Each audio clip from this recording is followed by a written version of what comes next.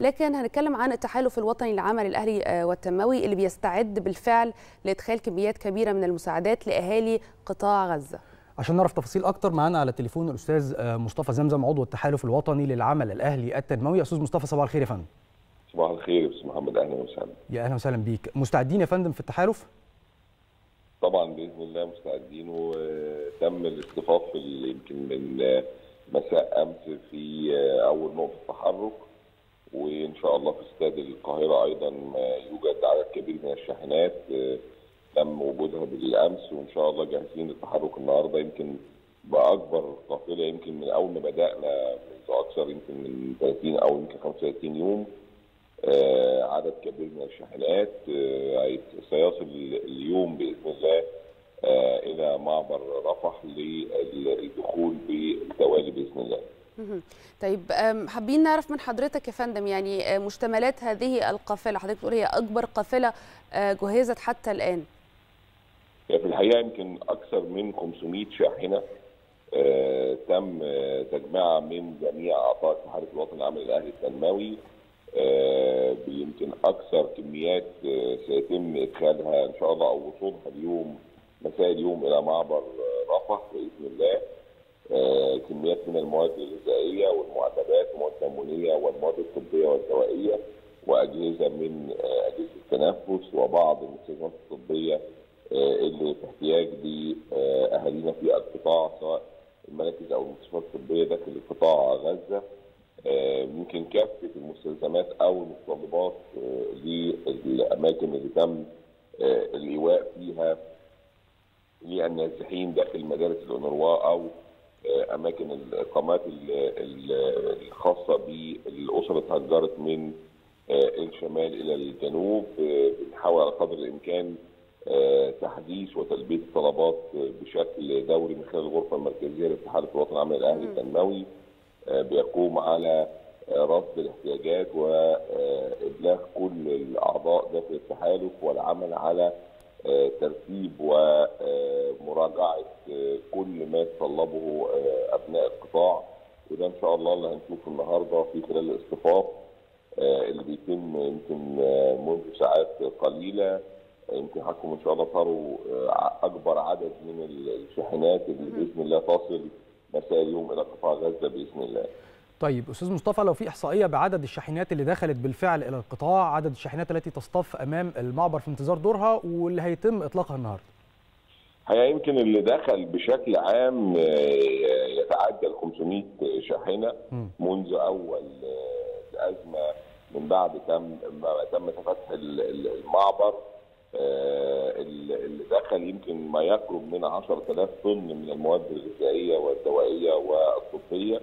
الحقيقة اللي هيدخل النهارده يمكن عدد لا يقل ابدا عن اللي تم رصده من التحالف على مدى إحنا يمكن بشكل عام مصر الدولة يمكن تعد رقم واحد على مستوى دول العالم في تقديم الدعم إلى قطاع غزة. إحنا ما يقرب من 75%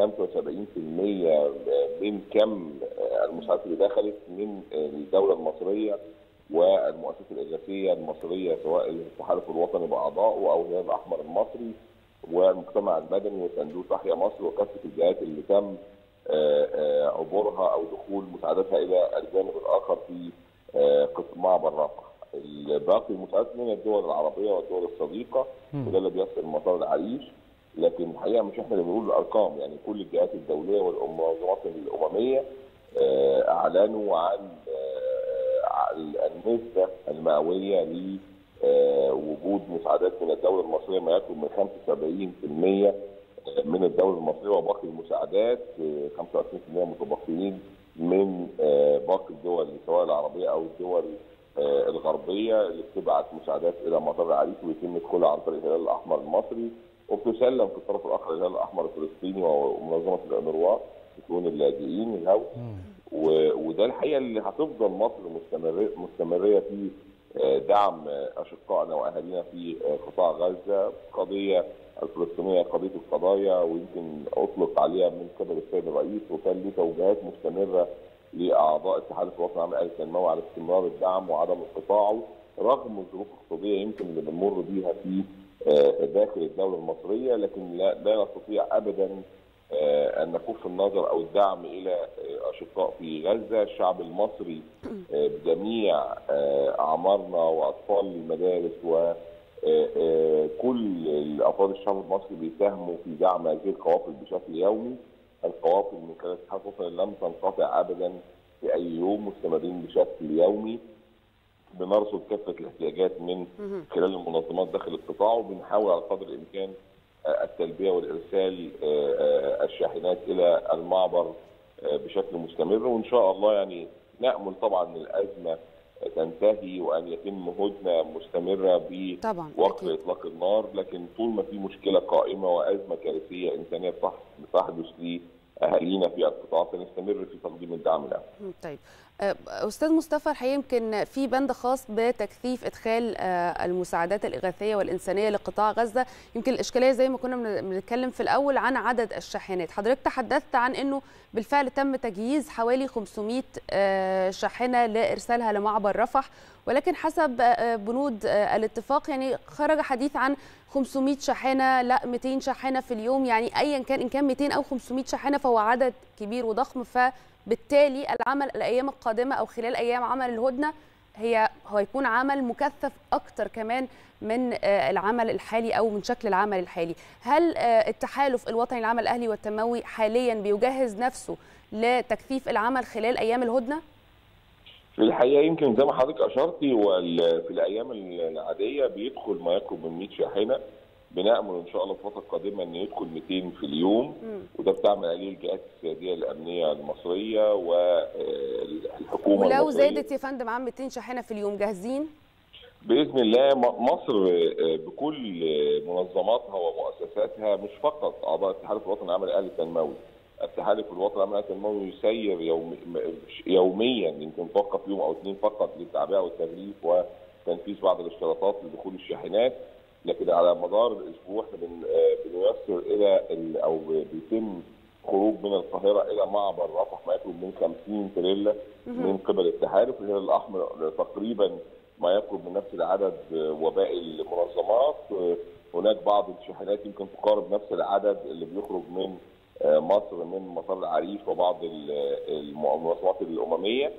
فايا كان العدد المطلوب أو اللي هيتم عليه الاتفاق وهيتم إعطائنا الضوء الأكبر من الجهات الأمنية المصرية هيتم التنسيق إن شاء الله ودخول هذه المساعدات الإغاثية إلى قطاع غزة.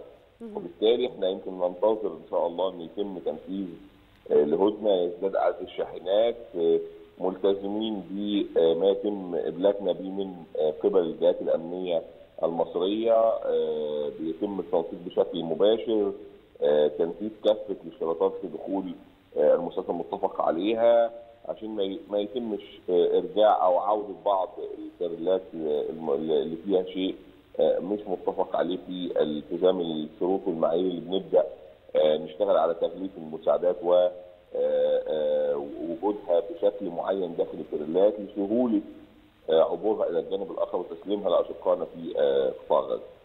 ده يا أستاذ مصطفى بيؤكد إن في عمليات فرز بتتم لهذه الشاحنات سواء كانت طائرات قادمة لمطار العريش بيتم تفريغها في الشاحنات عشان تروح المعبر أو حتى اللي بيجهزها التحالف. عملية الفرز دي بتتم إزاي عشان تكون مثلا الدفعة اللي هتعبر دلوقتي فيها كافة المستلزمات التي يحتاجها الجانب الفلسطيني؟ ده ده سؤال مهم جدا. الحقيقة بيتم طبعا فرز وتغليف وتعبئة بشكل منظم جدا.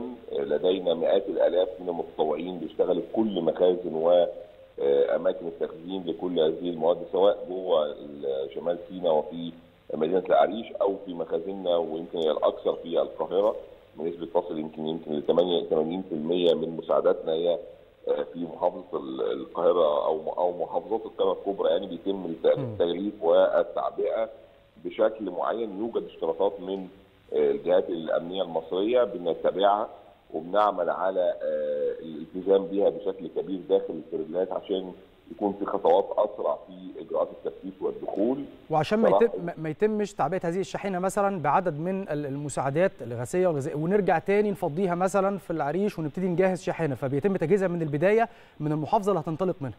كلام حضرتك مظبوط جدا. ده صحيح حصل معانا يمكن في أول مرة بعد بداية الدخول في أول يوم من معبر رفح ان كان بيبقى طبعا في طلبات من الجانب الفلسطيني من الهلال الأحمر الفلسطيني ومحتاجين أدوية أكثر محتاجين مستلزمات طبية محتاجين معلبات محتاجين ألبان أطفال محتاجين احتياجات للسيدات بشكل شخصي. كان في طلبات الفترة الأسبوع الماضي مثلا لخيام عشان الأمطار الغزيره اللي حصلت في غزة. كان في طلبات للبطاطين وبعض المراكب اللي اللي تم تهجيرهم من شمال غزة إلى الجنوب. فبنبدأ نرصد ده بشكل سريع ترتيبه بشكل ميسر عشان ما يحصلش أي مشاكل أو تأخير الأولويات زي ما حضرتك قلت وعدم نزول الأولويات. ده, ده بيؤكد يا أستاذ مصطفى إن في تواصل مستمر ما بين الجانب المصري والجانب الفلسطيني في هذا الصدد آه للوقوف على احتياجاتهم. بشكل يومي بيتم رصد الاحتياجات من قبل الغرفة المركزية والأمانة الفنية للتحالف الوطني العام الاهلي التنموي آه الأعضاء الأمانة الفنية للتحالف موجودين أمام المعبر آه بشكل مستمر بيتواصلوا مع الهلال الأحمر الفلسطيني. آه كل الجهات السيادية المصرية بيتم المتابعة بشكل دقيق لكل ما يتحرك من التحالف الوطني. بيتم التنسيق زي ما قلت لحضرتك عن كيفيه الرصد الاحتياج العاجل وده بيتم ترتيبه داخل التريلات والشاحنات اللي بتتحرك من القاهرة عشان كمان ما يتمش التعطيل داخل المعبر أو أمام المعبر ونبدأ بعض الأمور يحصل فيها تعطيل أو عوده الشاحنات لترتيبها مرة أخرى. ده بقى بيسهل بيسهل علينا كتير جدا في الدخول وتفريغ والعودة لتحميل مواد غذائية أو اساسيه أخرى. وده الحمد لله بقينا عندنا فيه يمكن خبرة أكبر من الأول. إن إحنا عارفين إحنا كل يوم بنرصد إيه من الاحتياجات بيتم التعبئة بشكل دوري. إن شاء الله يمكن النهارده كمان حضرتك تشوفوا على مدار اليوم عدد ضخم من المساعدات اللي هيتم دخولها إلى معبر رفح بإذن الله. طيب برضه يا فندم الحقيقة إنه ترس مهم جدا يعني من تروس هذه المنظومة هو المتطوعين اللي إحنا بنوجه لهم بكل تأكيد كل الشكر وتحية يعني عظيمة الحقيقة. بس خلينا نوضح للسادة المشاهدين يا فندم تقريبا عدد المتطوعين من بداية الحرب على قطاع غزة عددهم قد إيه؟ دورهم بيبقى عامل إزاي؟ الحقيقة يمكن التحالف الوطني عنده ميزة كبيرة إنه بيضم من قبل 34 مؤسسة وكيان داخل التحالف أكثر من 250 ألف متطوع. أنا عاوز أقول لحضراتكم إن إحنا على مدار هذه الأزمة والكارثة اللي بتحدث في القطاع يمكن ازداد المتطوعين لدى التحالف من طلاب الجامعات والمدارس بما يفوق ال 350 ألف من المتطوعين. على مستوى الجمهورية أقاموا حملة شعبية كبيرة للتبرع بالدم للأشقاء في غزة. بيشاركوا معانا ليل نهار في تعبئة المواد الاغاثيه إحنا بنتكلم على أكثر من 12000 طن من المواد الغذائية والإغاثية. وحضراتكم بتشوفوا يوميا من خلال التغطية من قبل حضراتكم وباقي القنوات الإعلامية المصرية المجهود اللي بيبذل داخل خليه نحل تعمل ليل نهار داخل المخازن. اللي تملكها الجمعيات الأهلية وأعضاء اتحاد الوطن العام الأهلي والهلال الأحمر المصري وصندوق تحيا مصر. كل الجهات اللي بتشارك في قوافل الإغاثة إحنا يمكن نستطيع أن نقول أكثر من 500 ألف مش فقط التحالف الوطني. هناك الباقي الجهات الشقيقة المصرية اللي بتعمل يمكن بجوار التحالف الوطني العام الأهلي التنموي يضم أيضا أكثر من 150 ألف متطوعين. فنستطيع أن نقول إن لدينا الآن يعمل بشكل يومي على مدار ال 40 يوم دول أكثر من 500 ألف من شباب المصريين والأسر المصرية عشان نعطيهم حقهم أنا بلاقي أسر كاملة بأبنائها بيشاركوا معانا في أيام العطله الدراسية سواء أيام الجمعة أو السبت وبيحضروا إلى المخازن في مؤسسة صناع الخير بيشاركونا في تعبئة آلاف من الكراتين والمواد الغذائية والبطاطين والأجهزة التنفس ولدينا يمكن إن شاء الله يدخل الفترة اللي جاية الأسبوع أو خلال الأسبوعين القادمين 20 سياره إسعاف من اهداء من مؤسسة صناع الخير إلى الجهات الطبية أو المراكز الطبية إلى قطاع غزة. أكثر من يمكن 100 جهاز تنفس صناعي الحمد لله بدأ يتم توفيره من الأسر المصرية والمتبرعين والشركاء. بنلاقي ملحمة من أبناء الريف المصري لدينا شباب وأطفال في أجا في محافظة الدقهلية.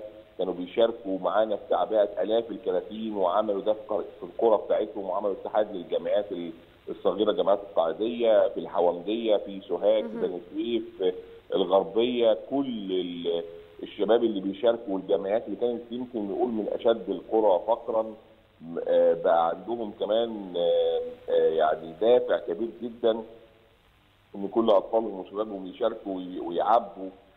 هذه الكراتين وهذه المواد الطبية ويتم إرسالها إلى المخازن الرئيسية هنا لدينا في القاهرة وبيتم شحنها بشكل مباشر فبقى كل التكافل والتجميع ده من كل أبناء الوطن المصري بصراحة هو ده اللي بيدينا كمان عزيمة أكبر واصرار على إن إحنا لازم نستمر في دعم الاشقاء في ذلك.